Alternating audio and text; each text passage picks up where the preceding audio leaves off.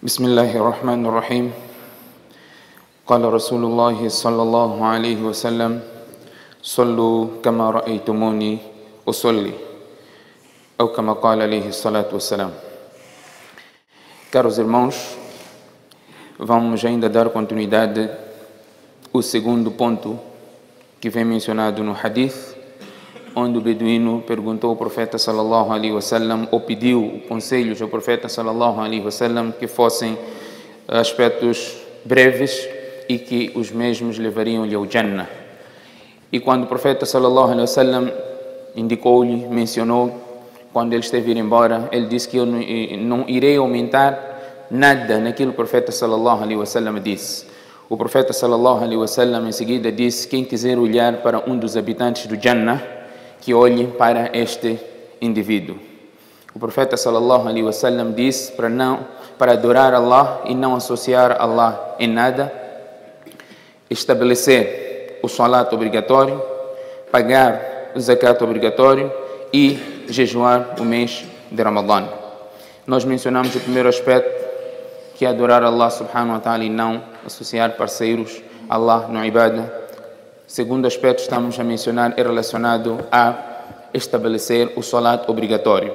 Nós podemos fazer salat, dizemos que estamos a fazer salat, Allah disse para fazermos salat e nós estamos a fazer salat. Mas este salat poderá não ser aceito por Allah subhanahu wa ta'ala por algumas irregularidades observadas no salat. Portanto, é importante mencionarmos esses aspectos, até os erros são importantes serem mencionados para que possamos precaver dos mesmos.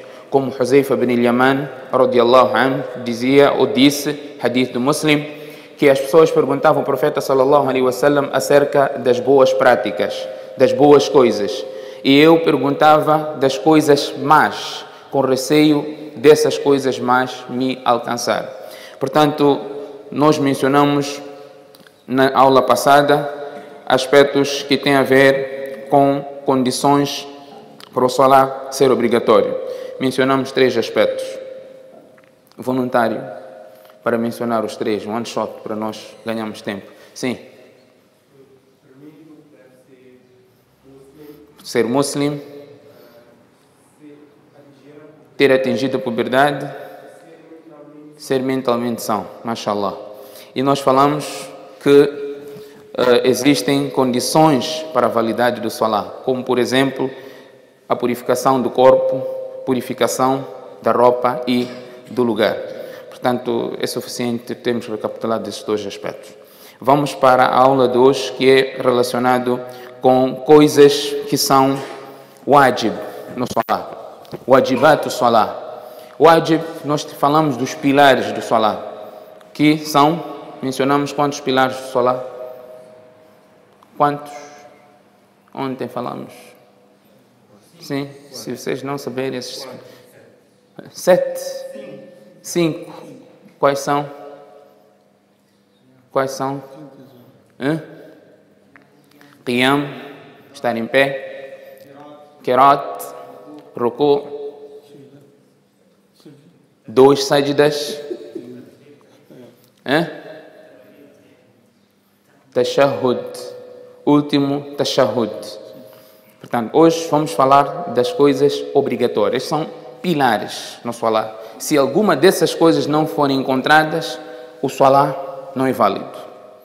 O wajib, qual é a diferença aqui do wajib? Não é? Aqui nós vamos encontrar uh, algumas escolas, teólogos, divergirem em termos de termo aplicado. Um é wajib, outro considera o wajib e fard a mesma coisa. Portanto, é importante aqui trazer aqui esta pequena definição, wajib.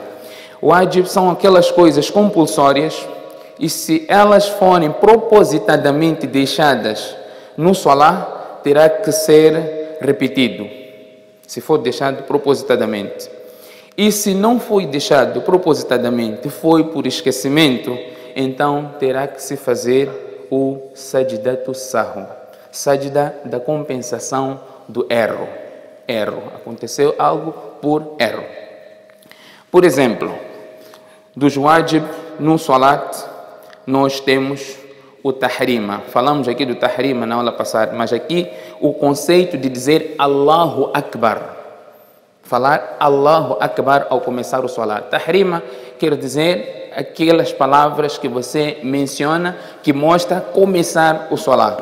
Nós vamos encontrar alimos a mencionar que você pode usar a palavra, por exemplo, Allahu A'zam, não é? Allah também é grande, não é? Allah é, é enorme, é o significado, mas o termo usado pelo profeta sallallahu alaihi wasallam é Allahu Akbar.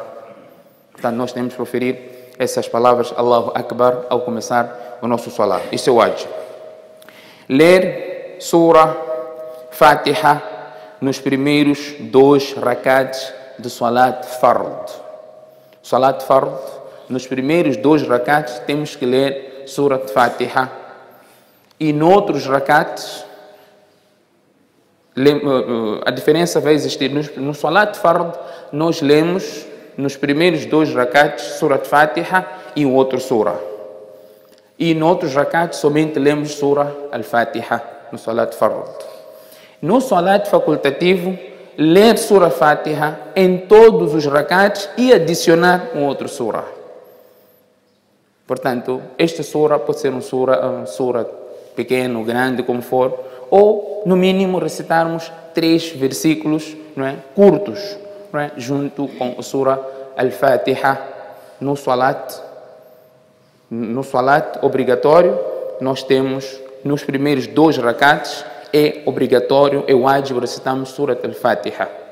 E no segundo, no terceiro e no quarto, não é? Só lemos Surat al-Fatiha. No primeiro e segundo, lemos Surat al-Fatiha com outro surah, no Salat Fard. No Salat facultativo, nós lemos Surat Fatiha e outro surah em todos os rakats. Não? Está claro? Este aspecto, os dois pontos devem estar claros para nós melhor percebermos é wajib antecipar o Surat Fatiha a qualquer outra sura. Quer dizer, primeiro ler Surat Al-Fatiha, depois ler outro sura. Você não pode começar lendo o outro sura, depois ler Surat Fatiha. Portanto, a Surat Fatiha deve ser primeiro sura a ser recitado. E fazermos todos os pilares do Salah de forma tranquila. Fazemos todos os pilares que nós mencionamos aqui de forma tranquila. Nós, na aula passada, mencionamos quais são os pilares do solar. Então, aqui estamos a dizer, é? temos que fazer esses pilares do solar de forma tranquila. Aqui é onde se encontra muita negligência. Muita negligência. O qiyam, mal feito, em particular quando nós chegamos, encontramos o imam no ruku.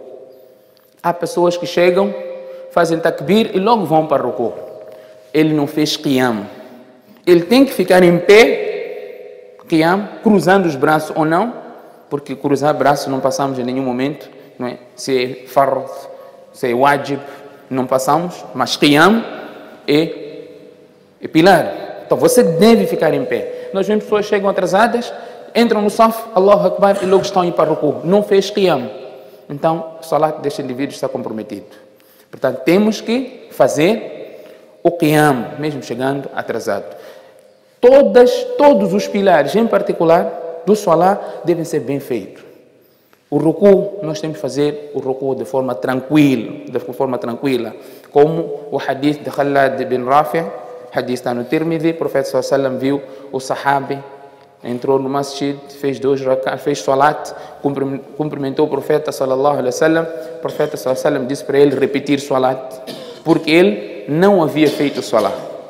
Porque não havia feito salat, mas ele estava a fazer salat. O profeta considerou-lhe como não tivesse feito salat. Por quê? Porque fez salat às pressas, rápido. Não fez bem o ruku, não fez bem o sajda, não, é? não fez bem aquele, uh, uh, os pilares todos do salat. Portanto, é importante nós fazermos não é, esses pilares, efetuarmos esses pilares do Salah de forma uh, adequada. É wajib sentar no primeiro tashahud, né, Salah de, dois, de quatro rakats, três rakats, tem dois tashahud, sentar no primeiro tashahud é wajib. Portanto, nós temos que fazer, se for por esquecimento, aí nós fazemos o sajdatu as Portanto, os erros observados aqui, nós iremos, inshallah, mencionar quando estivermos a falar de erros no salat. E sair do salat, do salat com salam. Os dois salamos que nós fazemos ao sair do salat, então isto é o wajib. Onde está Jamal? Tua pergunta de ontem. Né? Saímos do salat com salam, isto é wajib. Pois existem coisas que quebram o salat. Você pode não se aperceber, mas o salat quebra se você se alguns desses aspectos que não são somente estes aspectos, mas de forma bem resumida, vamos aqui mencionar alguns aspectos. Coisa, quebram o solar a ausência das condições fundamentais para o solar. Aspectos fundamentais para o solar. Se esses aspectos não forem encontrados, então o solar quebra.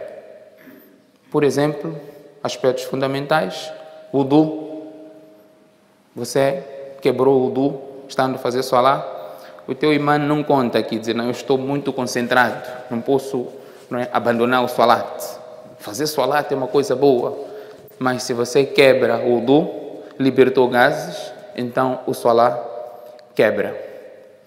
O solar quebra se a pessoa perde os sentidos, desmaiou, o solar quebra. Não é? A pessoa perdeu, um, perder sentido, tornou-se insana. É? Perdeu a sua mentalidade. Ficou maluco enquanto está a fazer solar. Solar deste indivíduo quebra, assim como o solar já não é obrigatório para ele nesta situação. Nós falamos aqui não é, das três condições para a obrigatoriedade do solar. Portanto, isto é, é um, dos aspectos que nós temos que levar em consideração. Deixar qualquer pilar do solar. Se deixarmos qualquer pilar do solar que já mencionamos aqui, o solar também quebra. Virar o peito da direção de Qibla. O que, que isso significa? Nós estamos na direção de Qibla. Há pessoas que fazem solar a abanar. Mas quando você começa a abanar, assim, da esquerda para a direita, não é? O, o teu peito sai da direção da Qibla, você virou, então teu solar quebra. É diferente se a tua cabeça vira no solar, o solar não quebra. Não podemos fazer isso. Não podemos fazer. Mas há, há, há situações que você, por exemplo, é obrigado a virar a cabeça no solar. É? Você, por exemplo, está a fazer solar em casa, está a cuidar de uma criança e você tem que vigiar o movimento daquela criança. Se você não prestar atenção, essa criança pode correr risco de vida. Então você está a fazer lado sim, mas está de olho na criança. Tá? Você se ver que a criança está a correr algum perigo, você deve quebrar o solar e salvar a criança. A criança é um exemplo, mas alguém que está a correr algum risco de vida, se você está, está na presença, portanto, você tem que salvar aquela pessoa. Portanto, há vezes em que você, mesmo os olhares, você vai ter que virar é, para cuidar, para prestar atenção de alguma certa coisa. Mas o que o hadith nos ensina é nós estarmos focados no solar, termos maior concentração no solar. Aqui se trata de uma exceção da lei.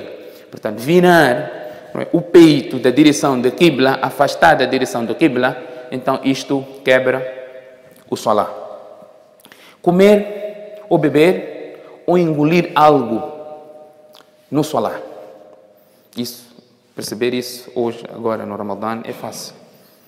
Você está a fazer solar, acabou de fazer iftar, logo veio fazer, juntou-se ao saf, nem sequer foi bochechar, não é? E no salat, você se percebe que uma porção de samuça ou de badia está suspenso nos dentes. Então você diz o que? Outro bismillah. Não é? Você puxa aquilo, não, não deixa nada passar. Como dá um exemplo, disse um avarento, ele estava a tomar chá ou alguma coisa, estava a tomar alguma coisa, e caiu uma mosca no copo dele. Ele, em vez de tirar a mosca jogar fora, ele tirou a mosca e ainda chupou aquele líquido que, que a mosca tirou do corpo dele, depois jogou a mosca por fora. Portanto, Se você está no solar e tem algo na boca, você não pode engolir. Não é? Não pode engolir. Ulama explicam se for uma coisa ínfima, portanto não é abrangido. Mas se ver algo equivalente a uma semente, uma semente para ser, vamos falar, um tamanho, para ser um gergelim, uma quantidade desta, uma porção desta, então o solar irá quebrar. É melhor sempre, antes de entrar no solar, ter em consideração esses aspectos, nem bochechar, para que nada durante o solar possa ser engolido. Se alguma parte do corpo ficar exposto no solar, não é? O tempo equivalente para se fazer um pilar do solar. Já quando falamos de pilar do solar, vocês já entendem, pois não?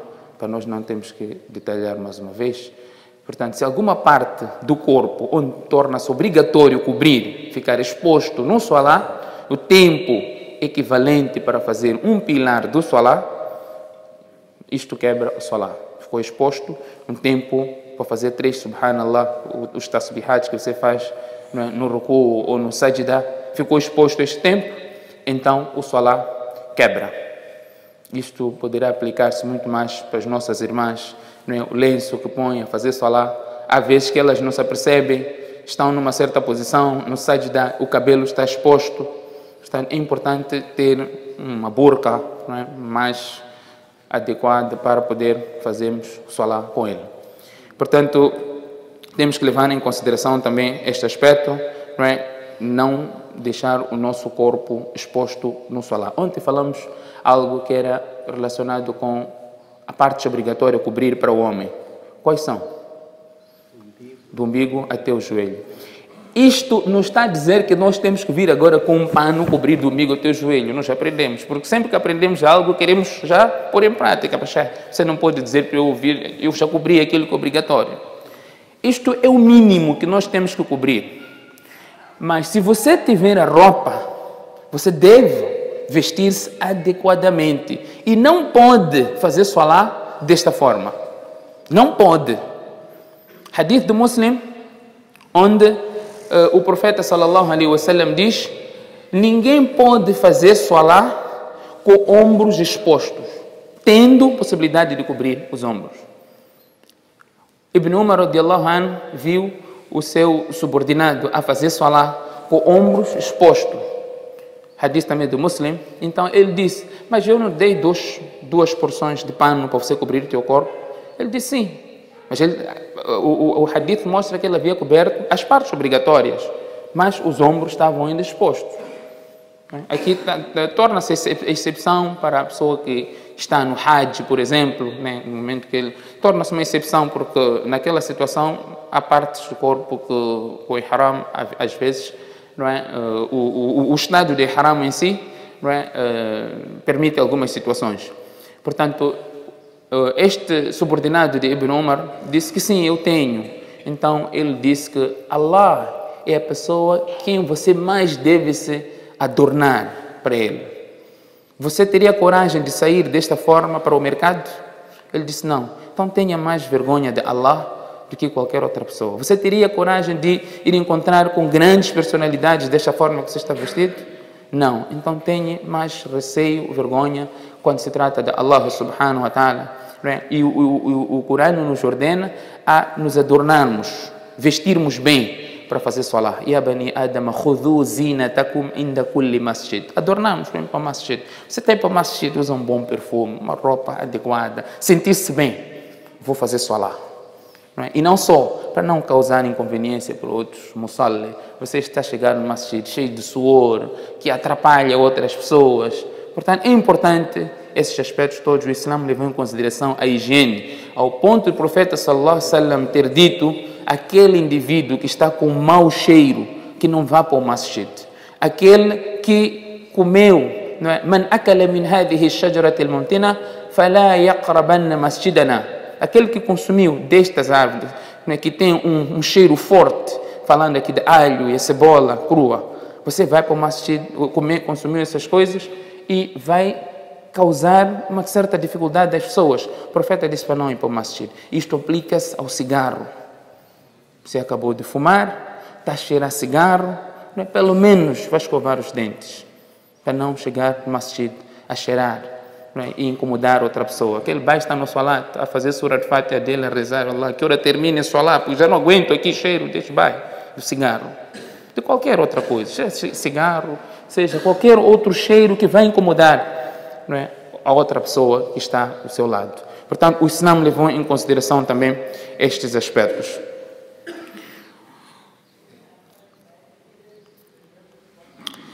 E outro aspecto que nós vamos mencionar uh, quanto uh, a coisas que quebram o solar, esse, a parte privada ficar exposta, portanto, falamos aqui do, do aura, se a parte privada, alguma das partes privadas ficar exposta, ou o aura em si, quando falamos parte privada, estamos a falar do aura, do umbigo, né, até o joelho, no mínimo para o homem, então isso também invalida o solar. O, o nascimento do sol, enquanto está a se efetuar Salat al-Fajr, o imam esticou o surah, não é? está a ler aqui, esqueceu que está a fazer Salat em Jamá, ou está a fazer Salat al-Fajr, recitou longo surat. A pessoa pode estar até a fazer salat individual. O sol nasce, então o salat quebra, né? porque temos aqui o aspecto que faz com que este salat quebre. Antecipar o imam em qualquer dos pilares do salat, de forma que não faz o mesmo rukn com o imam. Antecipar o imam. O imam está no qiyam, antes de ir para o ruku, o ma'mum já foi para o. Imam vai para o ele já voltou do ruku. Imam vai para a sajda, ele vai para a sajda, o imam quando vai para a sajda, ele já levantou a cabeça do sajda. Portanto, ele está a antecipar o imam não é, nos rukns, nos pilares não é, do salah. Isso também invalida o salah deste indivíduo. E se alguma impureza sair das partes privadas é, do musalli, isso também irá fazer com que o solar do indivíduo quebre-se. São vários aspectos que nós podemos aqui mencionar, mas vamos mencionar as coisas de forma resumida. Tem um aspecto que gostaria de realçar quando estamos a falar disso, fazer salat, que é a concepção que as pessoas têm quando uma outra pessoa passa à frente, enquanto ele está a fazer salat. O profeta sallallahu alaihi wasallam disse que nós não podemos passar à frente de um musalli. À frente dele, nós não podemos passar. E a outra coisa que o profeta sallallahu alaihi wasallam ensina-nos quando nós estamos a fazer salat no lugar onde as pessoas passam, nós temos que colocar um sutra, uma barreira onde, nós onde vamos fazer sajda, depois daquele lugar, colocamos algo que mostra que a partir daquele sítio só outra pessoa poderá passar sem interferir com o salá ou a proibição do profeta sallallahu O profeta diz, é? todos nós temos que levar em consideração não passar à frente da pessoa que está a fazer salá e se nós soubéssemos o pecado que existe ao passar à frente de quem está a fazer salá, o profeta sallallahu disse nós iríamos preferir parar naquele lugar 40 o narrador do hadith diz, não sei, o profeta sallallahu 40 dias, 40 meses ou 40 anos. Você ia preferir fazer isso para não ter que passar por, ou iria preferir parar do que passar em frente do mussal. E o mas'ala aqui é quando nós estamos a fazer salat, alguém está a passar à nossa frente, nós temos que impedir a pessoa, esticando a mão, impedir, para ele não passar. O, o hadith ainda menciona, se ele insistir, querer passar, você tem que ser mais violento para ele e impedir. Eu vi uma vez alguém a fazer solar e o outro estava a passar pela frente. Então ele coloca a mão para impedir. Aquele baile deu mão. Pensou que estivesse lhe cumprimentar. Portanto, o masala aqui é impedir ele para não passar. É? Quando ele quiser, quando ele insistir, então ser mais violento para impedir. O profeta Ele é shaitan, este é shaitan que irá passar. Portanto, estes são alguns aspectos que tínhamos mencionado para a aula de hoje. Tem mais alguns aspectos relacionados aos erros no Salat, que iremos terminar com esta sequência do ponto número 2, onde o profeta sallam diz estabelecer o Salat obrigatório, e em seguida vamos passar para o terceiro e o quarto ponto deste hadith. Que Allah subhanahu wa ta'ala dê a todos nós o tawfiq. سبحانك اللهم وبحمدك نشهد أن لا إله إلا أنت نستغفرك ونتوب إليك